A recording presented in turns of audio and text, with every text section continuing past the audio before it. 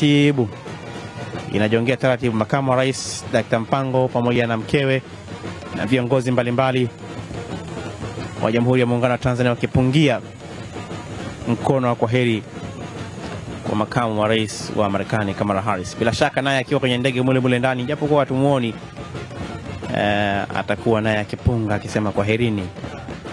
Eh, labda nitakurejea tena Tanzania katika siku zijazo. Sisi TBC tuko hapa mpaka tuhakikishe kwamba ndege hii ya makamu wa rais wa Marekani Kamala Harris pamoja na uh, mumewe na ujumbe mzima inaondoka katika ardhi ya Tanzania uh, salama salimini kuelekea kule uh, Zambia.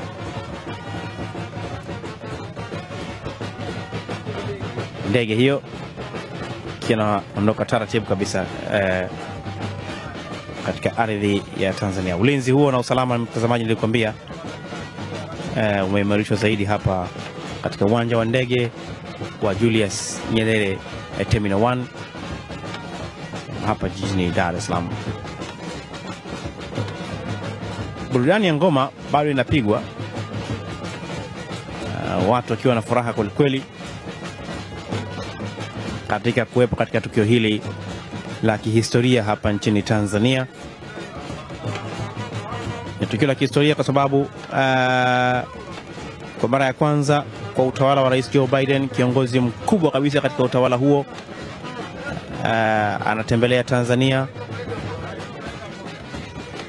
na hii yote basi ni kuonyesha ushirikiano uliopo karibu kati ya mataifa haya mawili eh, ya Marekani na Tanzania.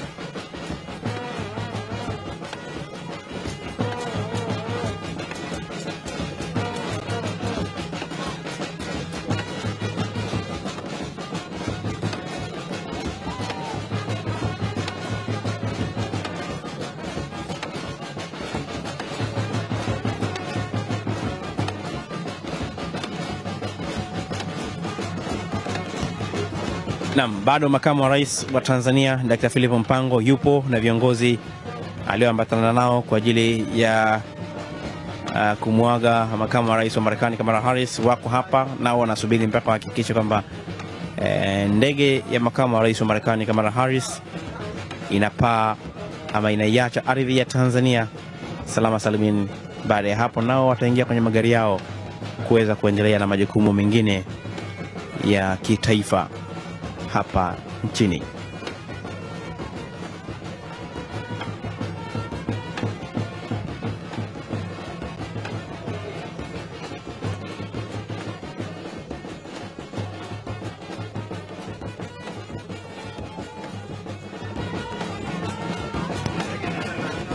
Tunasubiri ndege iliyombeba makamu wa rais wa Marekani Kamala Harris eh, iweze kupaa. Imekwenda kwenye ile eh, njia ya kurukia ndege ama kuruka na kutua ndege, yani runway eh, ikiweza kukusanya kasi huko eh, ili iweze kupaa na kuondoka katika ardhi ya Tanzania kuelekea Zambia ambacho kitakuwa ni kituo chake cha mwisho kabisa barani Afrika akianza kule Zam, akianza kule Ghana alipokaa uh, siku tatu, akaja hapa nchini siku tatu. Zambia napo atakaa siku tatu, kisha baada ya hapo atarejea zake kule nchini Marekani. Hii yote ni katika kuhakikisha kwamba basi e, Marekani inakuwa karibu zaidi na bara la, na bara la Afrika. E, Marekani ni mshirika mkubwa wa bara la Afrika kama unavyofahamu mtazamaji wa TBC. E, hapa nchini wao wame makampuni mbalimbali ya Kimarekani yameweza kuwekeza kwa kiasi kikubwa hapa nchini Tanzania, lakini pia wako raia wengi tu wa Marekani hapa nchini Tanzania. Na, na Watanzania pia wako wengi tu kule nchini Marekani. E, nao pia wameweza kupeleka bidhaa zao mbalimbali kule nchini Marekani.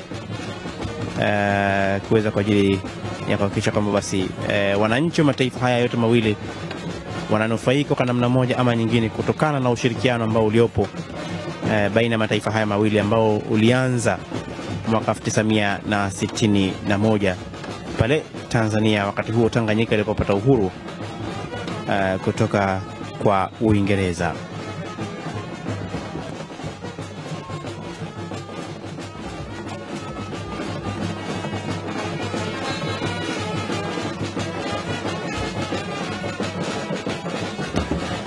Ndege hiyo ya kijeshi ya Marekani US Air Force uh, ambayo imebeba mizigo mbalimbali tu ya uh, ujumbe huu ambao umeongozana na makamu wa rais wa Marekani Kamala Harris.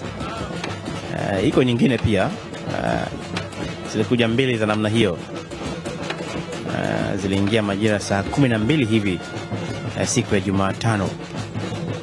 Baada ya kuingia hizi tukasema haya, mgeni wetu naye atakuwa iko njiani, anakaribia kuweza kufika kwa ajili ya kuanza majukumu yake ya kitaifa ambayo ameitikia wito ama eh, mwaliko alikuwa ameupata kutoka kwa Rais Dr. Samia Suluhu Hassan alipokwenda kuzindua filamu ile ya The Royal Tour eh, kule nchini Marekani.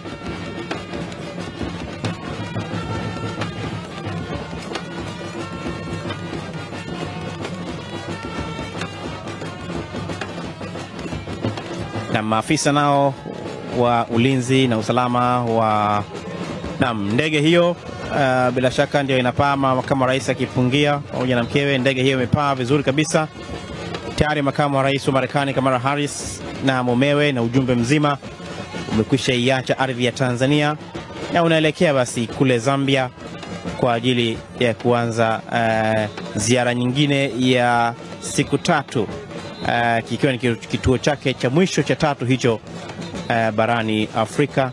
Makamu wa rais naye akiwapa mkono akiwashukuru uh, viongozi mbalimbali ambao wamekuja hapa, akizungumza na balozi huyo wa Tanzania.